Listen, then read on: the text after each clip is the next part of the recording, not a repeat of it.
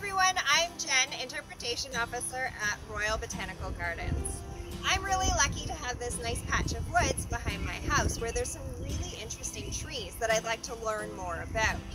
And I know just the person who can help me. Nadia is our field botanist and herbarium curator at RBG, and she knows her plants. So I'm going to call her to see if she can help me out.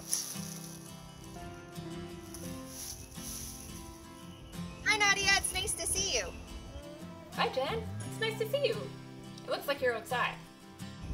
I am. I'm just behind my house where we have some really interesting trees, and I thought maybe you could help me identify them. They have some pretty cool bark, so maybe you can identify them just on that.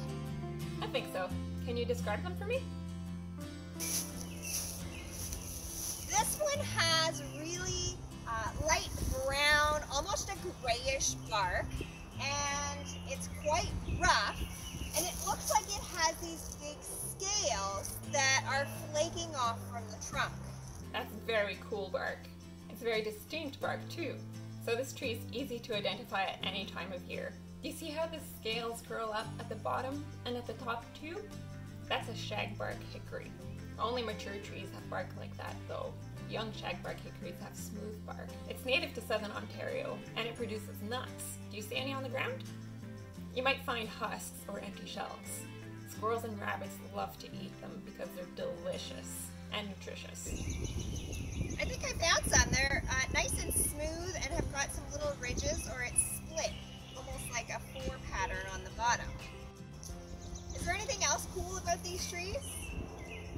Yes, the buds are beautiful in the spring. They're big buds, and when they swell in the spring, the scales open up to look like a red flower. Then the scales fall off and the big compound leaves grow out. I can show you what the leaves will look like in the summer with an image from our digital herbarium. I know you often use the herbarium to help identify plants by looking at pressed specimens that have been collected in the past, like this one. It looks like it has five little leaves. At first glance, it looks like it's five little leaves, but it's not. The whole thing is one leaf, so it's a compound leaf. Thanks, Nadia. I've got another tree I'm wondering about and its bark is almost the opposite of the shagbark hickory. It's smooth and a silvery gray color. It doesn't have any of those scales. The trunk almost looks like an elephant leg. And there's some leaves that are still hanging on from last year.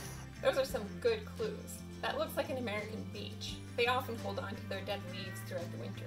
We call that marcescence when they don't shed their leaves. American beech produce nuts too, but they're spiky they're harder to find because beeches produce less nuts and animals love them. That's really cool that the spiky nuts are from the smooth bark tree and the smooth nuts are from the rough bark tree. I also really like their leaves. They're a pretty simple leaf and it's got these nice jagged edges. It's the teeth that make the leaf look jagged. And if you look closely at the leaf, there's a vein that ends in the tip of each tooth. That's particular to beech trees. That's really fun. I've also noticed that on quite a few of these beech trees that people have carved words or images into the bark. That's really bad for the tree, right? That's really bad for the trees. It opens them up to pests and diseases. Right now they're really vulnerable, so leaving the bark intact is so helpful for them. Well, thanks so much, Nadia. I really enjoyed learning more about some of the trees around me. It's wonderful to know that each one is special and unique, and it's great to spend time in nature just exploring and learning more. So I really appreciate it. You're very welcome. Enjoy your walk. Bye, Jenn. Bye.